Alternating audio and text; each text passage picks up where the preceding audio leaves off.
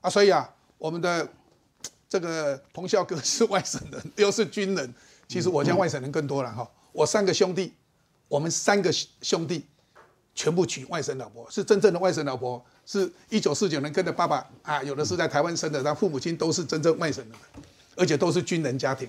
我们家是这样子，所以其实我不觉得本省外省有那么多。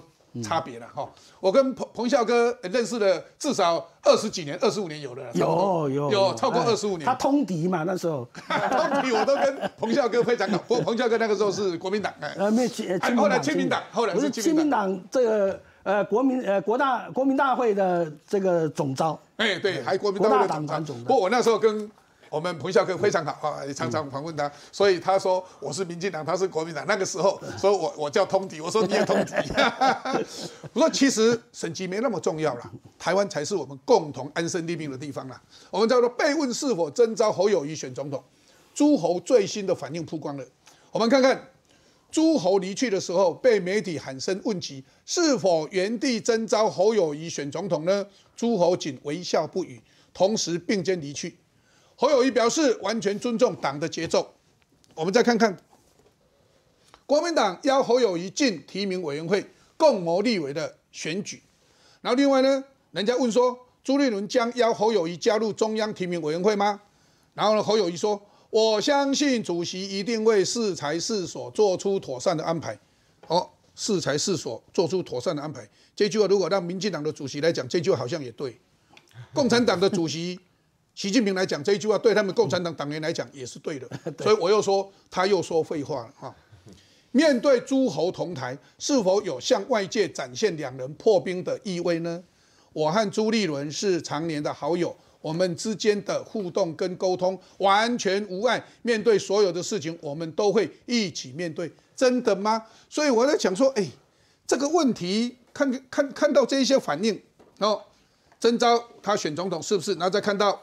金普聪出来了，尤其讲到了大家都不敢讲的这一句话，这是沈富雄讲的，也就是说国民党内部里面有外省人优越的情节，所以迟迟不愿意提名侯友谊。这一句话很多人不敢讲，可是二月十六号的时候沈富雄讲的，所以不是我们讲的。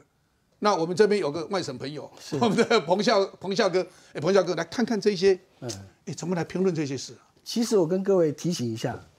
不要说国民党内的什么深蓝的看不得外省人，啊，能够来来代表国民党选总统，包括中共在内，只要是本省人当国民党主席的时候，中共都不理不睬。哎呦，对，你看好了没有？对对对对对，对不对？现在突然间想到，对这个，你看我们那个啊，台中那位年轻的呃国民党的主席啊江启臣，哎，国台办的一个发言人。你什么东西啊？他公开的啊，在媒体前面说江启臣，你哪根葱？嗯，拜托哎，国民党的主席呢？啊，结果在共产党眼里边，你哪根葱啊？你是台湾人啦，卖小想啦，哈，国民党哈都中国的党啦，伊就是中国国民党啊，对唔？啊，你台湾人想要做主席，啊，佮想要啊代表呃国民党来选总统。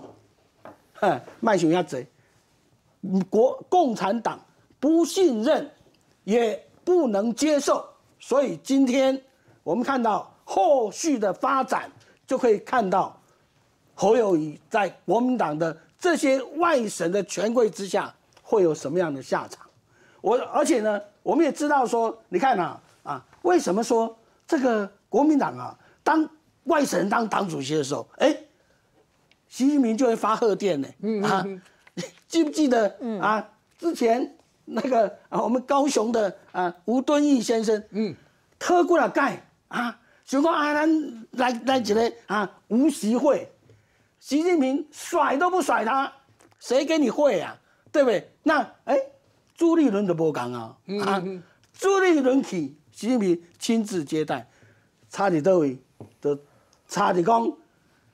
国民党咧内底诶外省诶，迄是中国诶啦。哦，所以讲咱台湾诶吼，讲起来卖卖销售，咧中国看国民党诶迄个深蓝诶，就袂输讲俄罗俄罗斯看乌克兰那个乌东四州里面的俄裔的乌克兰人一样。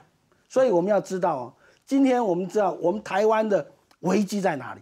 台湾的深层危机就是我们台湾里面真的还有一批啊，像乌东四周的那些俄裔的乌克兰一样，啊，他们或许会成为配合中共啊侵略台湾、并吞台湾的一些的棋子。但是我也要特别强调，年轻一代的外省人，像我这种二代的，到三代啊，那他说出来。东西天然毒了，没有什么省级观念。对，还好这这一批的外省人啊，上波嘛搞我共年，我莫讲我归回，我甲习近平赶回。所以讲哈啊，这一代过去以后，咱台湾都无问题。嗯嗯啊，加载啊，即嘛啊，我嘛还还遐老啊，哈。所以讲你看着我倒一天无出面的时阵，你讲哦，台台湾安全了。好吧，这个我们彭教授要继续为安身立命的台湾来努力了哈。我要提的就是说，我们是落地生根，日久他乡是故乡，这个才是我们要的啊。所以我要跟大家讲说，其实这一代没有什么本省外省啊。嗯。但是你看看沈富雄讲出了国民党最核心的这个问题，所以我们在讲说，如果是这样子的话。呃国民党马英九到底在想什么？如果是当中国人这么骄傲的话，为什么你的四个姐妹、你的两个女儿，还有你的下一代，不当中国人？然后你现在要去中国访问，要把我们台湾的这些人推向中国，我不知道他的心里想的是什么了哈。所以朗东，呃，我记得你也是，你应该是从香港来的吧？对对，新移民啊，哎，新移民，朗东是从香港过来的。哎，你看到二零二四总统落谁家？南宁选测会之乱，还有神路讲讲到这一个血统论，哎，让我们真的，我我要特别告诉大家国际法的一个概念，国家的主权的要素，人民领土，哦，人民领土主权跟与他国交往的能力，我告诉你，血统、文化、语言这一些，通通不是国家的要素，包括宗教，通通不是国家的要素。我再讲一遍，血统、血缘，你的文、你的文化。你的宗教、你的这一些相关的信仰等等，通通不是国家的要素。所以你可以看到，美国人哪一国都有移民到美国就是美国人。美国人不会讲宗教，因为你不管哪一个宗教，他们都一律平等。宗教不是国家的要素。所以呢，很多英国人、德国人，哎，只要移民到美国就美国人。那我们很多人信佛教，请问那你就变成啊尼泊尔人吗？变成印度人了吗？不是的。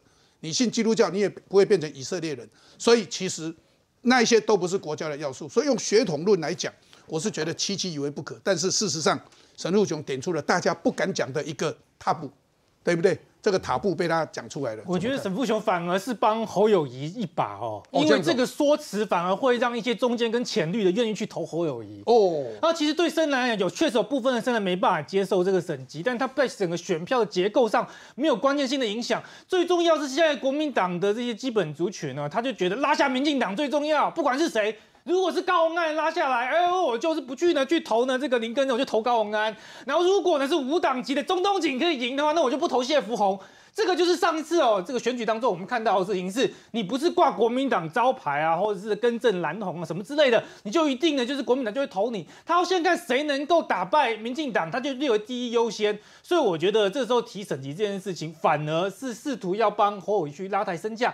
但是侯友遇到这样真正的问题，真的不是什么本省外省这种事情啦，而是他不敢表态，是会一直在讲废话，而且还新北绕跑。然后最大的问题是，现在很多青壮族群的网络族群都不能接受侯友谊，他们把它取个绰号叫 “Ho Ho GPT”，H O H O G B T，G B T 就是著名的 A I 聊天机器人嘛。那 Ho Ho H O 有什么是好好的意思啊？就就是好好机器人，就他在网在网络上面，大家觉得说，哎，你怎么不管你去问他什么问题，他说啊，好好做事啦，或者要全力以赴，都在讲一些废话。包括说朱立伦现在哦，用出一刀见好就收啊？为什么？因为呢，现在傅昆奇被金辅聪骂成是病毒嘛？